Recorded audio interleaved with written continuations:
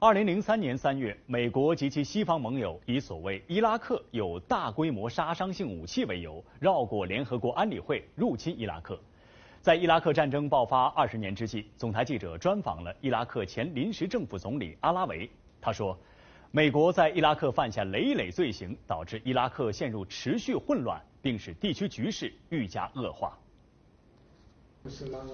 阿拉维表示，美国入侵伊拉克后，解散了伊拉克原有的军队和安全机构，使伊拉克全国安全形势变得极度混乱。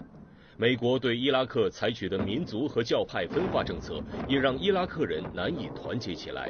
美国在伊拉克制造混乱，通过外溢影响，让整个中东地区动荡不安，使得美国可以更加轻易地控制中东，同时也为极端组织的兴起埋下伏笔。كانت هناك خطايا من قبل الاحتلال مو أخطاء خطايا أنا صرت أنبههم أنه إذا العراق تأذى ودمر فالمنطقة ستتدمر وليس العراق فقط 阿拉维表示，从2003年3月美国入侵伊拉克到2011年12月，美国正式宣布伊拉克任务结束，美国对伊拉克进行了长达九年的军事占领。 期间，伊拉克各地发起反抗美国的抵抗运动。 فلهذا أنا شخصيا يعني تفاجأت بالموقف الأمريكي الحقيقة منذ أن قاموا بالاحتلال مع العلم أنا نبهتهم قلت لهم ترى إذا بقى جيش أمريكي بالعراق شهرين فستنشأ مقاومة رهيبة ضد الجيش الأمريكي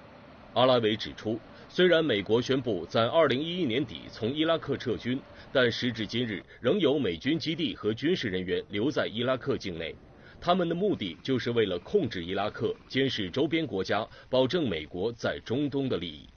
阿拉维表示，随着伊拉克两个重要邻国沙特和伊朗在中国的斡旋下同意恢复外交关系，伊拉克也将从中受益。阿拉维说，对比中国和美国在中东的政策，公道自在人心。 وأنا من دعاة التعاون مع الصين والعمل مع الصين والتقارب مع الصين لأن الصين ليس لها أطماع في العراق وليس لها أطماع في المنطقة عدا أنه هي تحاول بسط السلام والوئام في المنطقة